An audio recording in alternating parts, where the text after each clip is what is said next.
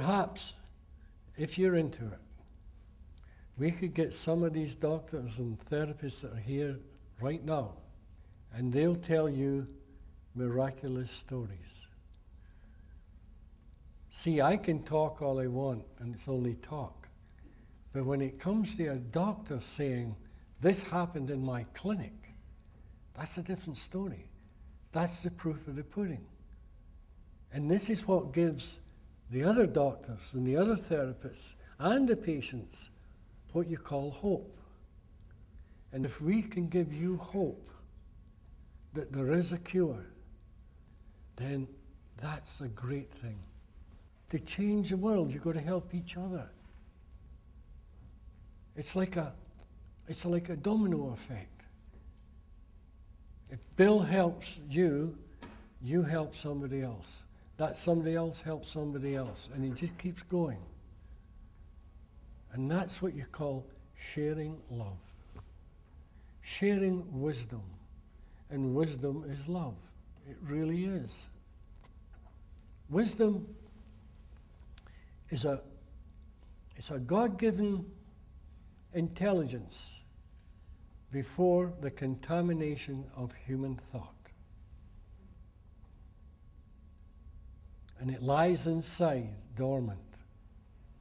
Now, when I say inside, I don't mean inside the body. This is a just a way to try and express the unexpressible. Inside means really beyond time, space, and matter. And you're connected to those three principles that lie before time, space, and matter. And those three principles are the wisdom you're looking for. But you can't find it because you're caught up in a divine illusion. In your own little mind, your own little thought system is jamming it because you see an illusion. You go past the illusion, and there it is.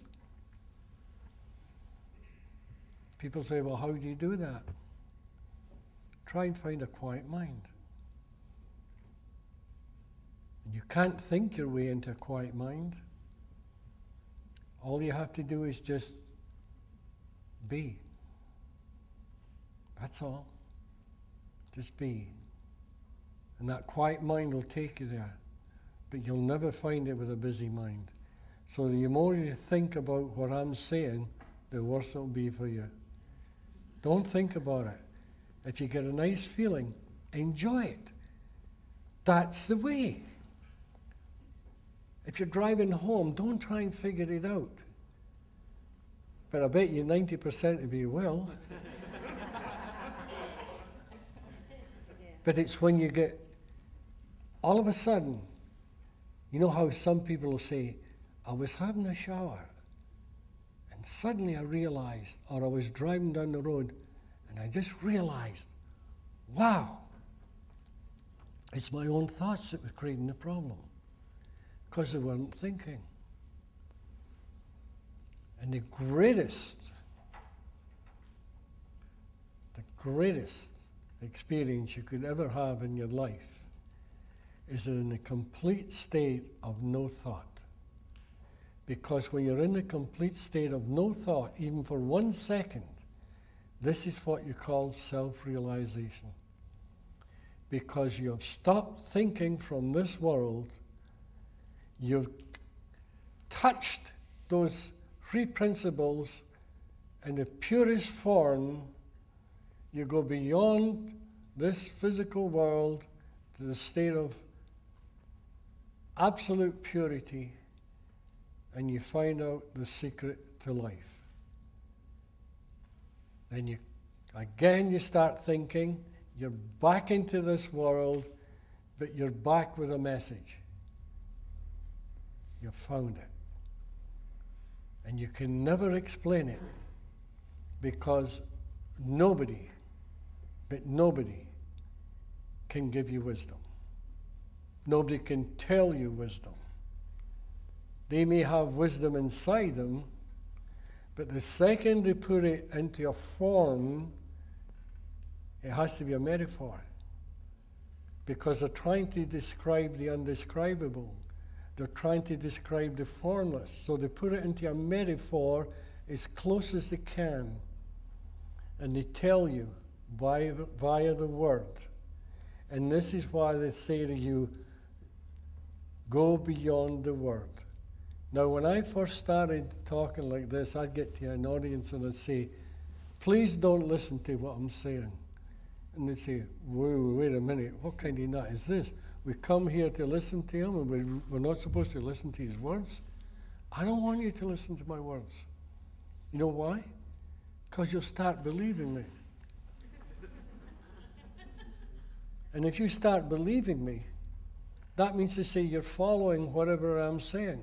I don't want that. I want you to be your own person.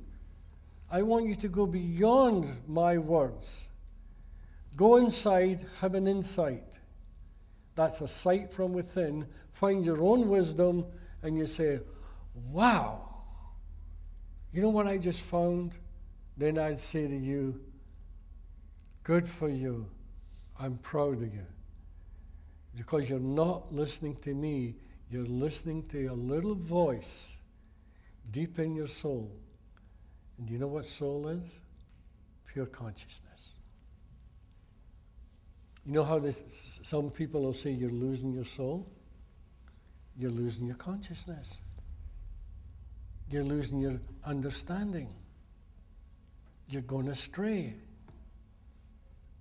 Then somebody will come along and say, I know you're going astray.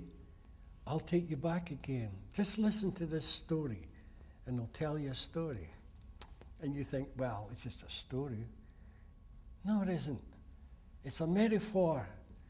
And if you listen very carefully, you go beyond the word. That's what George was trying to tell people the other day how to listen. And, and quite often we talk to people and they'll say, Well, I am listening. I say, No, you're not. You're not hearing what I'm saying. Yes, I am. And they can repeat the words.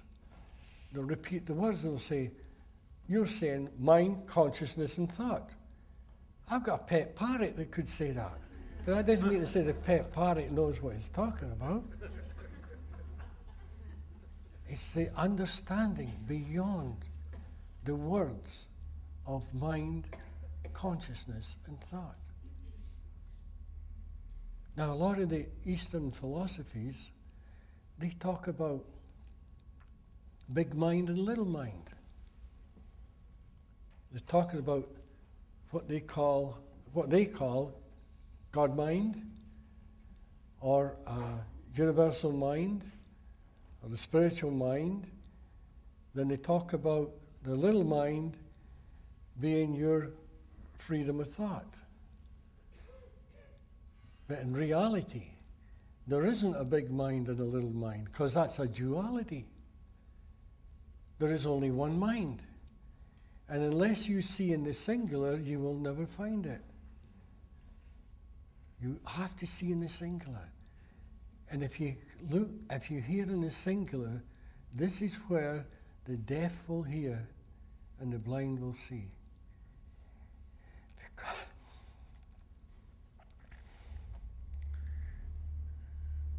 it's all inside, it's already there. You're already there.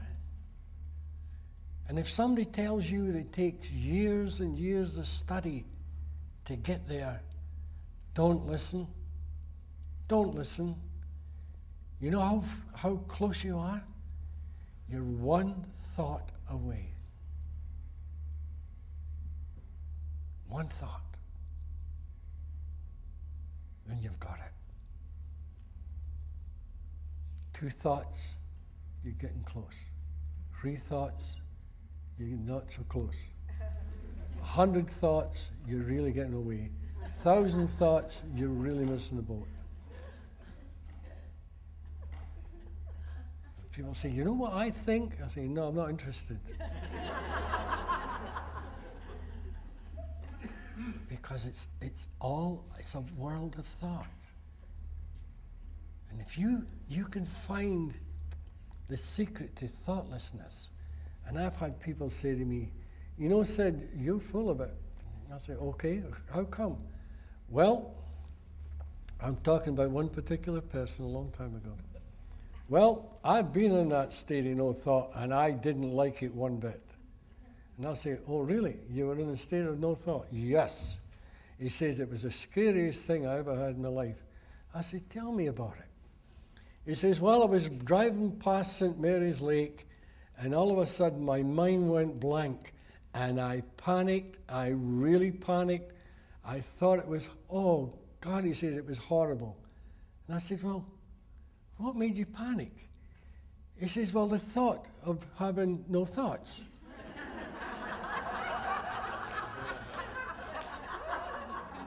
so, you know, something's wrong here.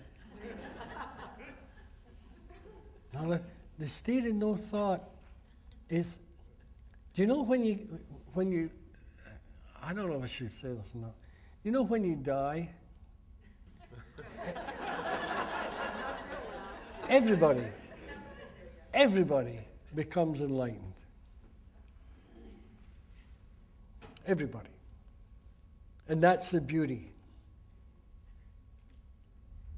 And I don't care who says somebody's judging you or not. That's not true. It's only the human mind that judges. When you die, you will see that this world is, has been for you a divine illusion and you've gone home. But the only thing is, you're dead.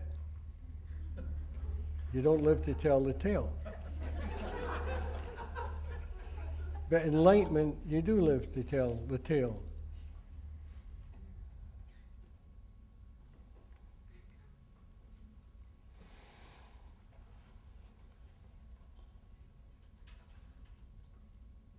Now, I've sometimes talked about the three principles for an hour to people, and they'll say to me, Well, when are you going to tell us about the principles and how they work? Well, I already have, many times. You see, those wise people from the past, all these uh, great mystics, they'll they'll take you by metaphor to the door. They'll even open the door for you, but you've got to walk through. Nobody can put you through that door. If you want to go past this physical world and find out the ultimate secret, you have to do it on your own. If you want to find the wisdom inside yourself, you have to do it on your own. Because somebody could talk to another person till hell freezes over every day in life and they'll never find it because they don't go, they don't go through it. And here's another beautiful thing. Some people will say, well, I've been talking to this man that really knows, or this woman that really knows what they're talking about for 40 years, so I know more than you. Time is an illusion. And somebody can walk in here, sit down for five minutes, and be ahead of you, me, and everybody else.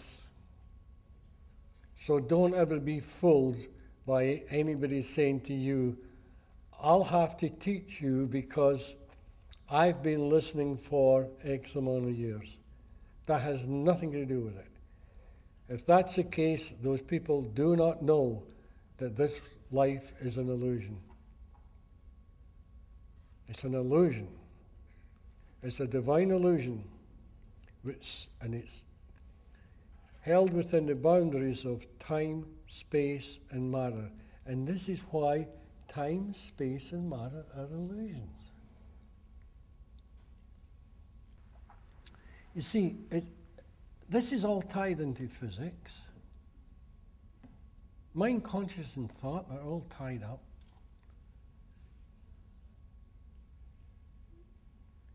Like that E, M, e equals mc squared. Never mind the square and the speed of light, because that's finite. And no matter how big a number it is, it can still come to an end. The answer to that should be infinity. And infinity is the energy of all things, whether in form or formless. Therefore, that is what infinity is. A lot of people argue, what is infinity? Is there such a thing? Of course there is, because this is what creation is. It's the energy of all things, whether in form or formless. That's why a lot of these mystics say, excuse me, there's no beginning and no end. Now, with our little minds, we can't possibly imagine no beginning and no end. Can you imagine a piece of string with just only one end? Try it. You have a ball string, you have a wee this, that. You can't do it. And that's where the secret to life lies. When you see there's no beginning and no end and everything is just energy. You and I are created from that energy. The trees, the birds, the lakes, the sky, everything is created from the same energy.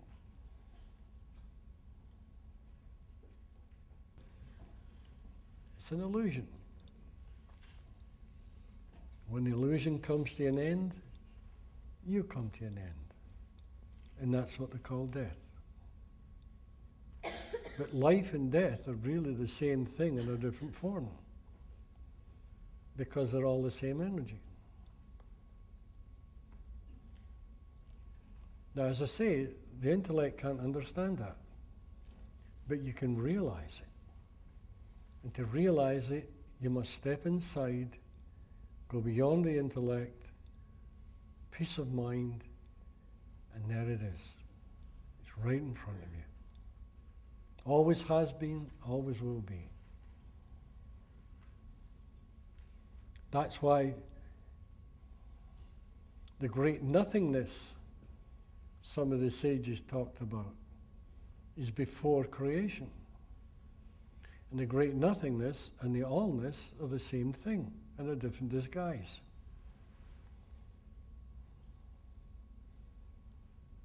Would you like to explain that one, George?